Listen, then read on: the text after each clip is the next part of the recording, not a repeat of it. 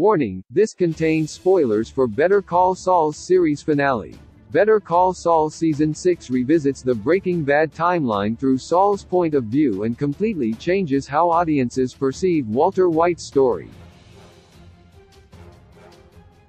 As any good prequel, Better Call Saul expanded on the Breaking Bad story by showing the origins of some of the most important plotlines from the original show, such as Gus's rising empire and his conflict with the Salamancas. However, not only did Better Call Saul create more background to the events of Breaking Bad, but it also reframed them by adding a lot more context to the actions of characters like Gus, Mike, and most important, Saul, making Heisenberg's story a lot different in hindsight.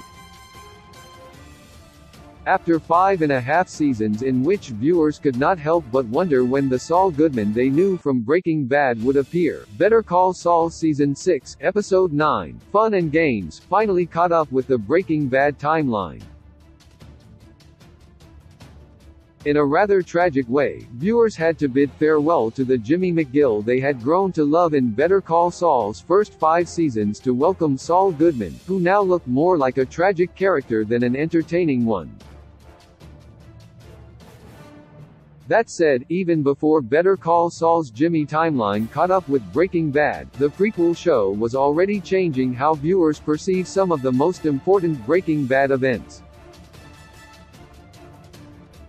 In addition to Jimmy's prequel story and Saul's Breaking Bad era scenes, Better Call Saul also changed how viewers perceive Breaking Bad through the Gene timeline. Set after Breaking Bad's ending, Better Call Saul's black and white scene served as a sort of epilogue to Breaking Bad, especially the ones in the Better Call Saul series finale, Saul Gone. During the Saul Goodman trial, Jimmy admits that, without him, Walter White would have died or gotten arrested in a month. Jimmy confessed that, during his Saul days, all that he did for months was to help create Heisenberg's empire, a theme that had already been brought up in Better Call Saul's Breaking Bad episode. Jimmy had been dealing with men like Mike, Fring, and the Salamancas far before Walter White, and by the time Ms. Mayhew entered Saul's office, the crooked lawyer was already a big player in the game. In hindsight, Walter White's Breaking Bad story seems small compared to everything that happened with Jimmy. Better Call Saul Season 6 reframes Heisenberg as Saul's creation in Better Call Saul Season 6, Episode 11, Breaking Bad. Viewers got an extended look at the day Walt and Jesse took Saul to the desert. After asking the duo to put a dollar in his pocket, Saul Goodman entered Walt and Jesse's infamous RV, and from then on became associated with their operation. During Saul's scene at Walt and Jesse's RV, there is a key moment in which Saul grabs a Florence flask and comments that his pet fish would have loved it. That happens exactly as Walter's image is formed behind the flask, in a scene that visually and metaphorically places Walter as Saul Goodman's new pet. Saul was a shell of a man at that point, and even though he was already rich thanks to the Sandpiper money, he continued looking for pastime challenges to fill the void Kim left in his life. Saul Goodman saw Walter White as a business opportunity, but also as his new hobby. Mike asked Saul not to engage with Heisenberg, warning that Walter White was a complete amateur. Mike was technically right about Walter White, he would get himself shot or arrested quickly. However, with Saul's intervention, Heisenberg became a much more powerful player in the operation. Saul connected Heisenberg with Gus and laundered Walter and Skyler's money, not to mention he assisted in keeping Jesse in check. Therefore, in hindsight, Heisenberg was a Saul creation almost as much as he was a Walter White creation.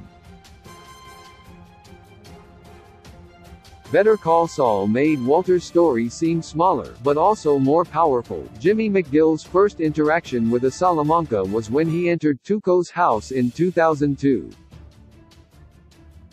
From then on, Jimmy slowly got deeper into crime, which eventually culminated in Lalo killing Howard in Kim's apartment.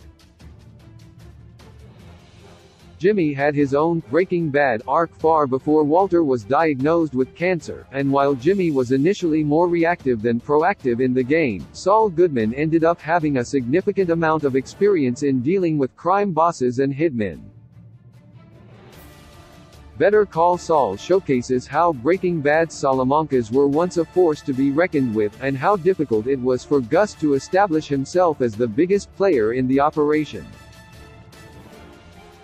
Better Call Saul Seasons 5 and 6 dealt with Gus Fring's war on the Salamancas, in which Jimmy was involved both directly and indirectly while serving as Lalo Salamanca's lawyer. Under that perspective, Walter White's story seems much smaller. Walter was an amateur who had no idea who he was really dealing with. The only thing that made Heisenberg respected, at least initially, was his unique product.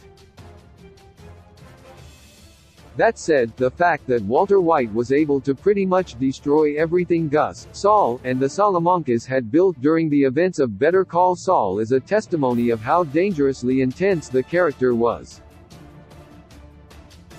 Jimmy McGill's story was more complex than Walter White's compared to Jimmy McGill. Walter White was not too complex to understand. That is not to say Saul is a better character than Walter, only that Walter was certain of the path he wanted to follow from the beginning. Although Walter lied to himself and others by saying he did it for his family, the character decided during Breaking Bad's pilot that he would become a criminal to make as much money as possible before dying. Jimmy, on the other hand, was in a constant battle between his Slippin' Jimmy days and the man he thought would make Chuck proud.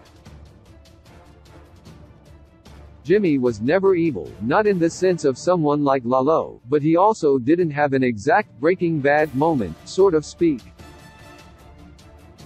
The brilliance of Better Call Saul was to show that Saul Goodman was always like that, but that bad choices and misfortunes prevented him from trying to be something different. That is why Saul is so different from Walt, and in some ways, more complex. Better Call Saul's finale proves Jimmy was the Breaking Bad universe's true protagonist as someone who had been involved with some of Breaking Bad's most important characters from the beginning and also had a rather complicated journey. Jimmy can be interpreted as the Breaking Bad universe's real protagonist.